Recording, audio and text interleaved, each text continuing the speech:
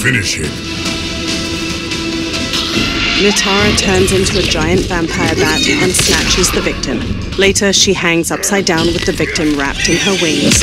Nitara gouges out their eye sockets with her fangs, then bites off their head in large chunks. Nitara wins.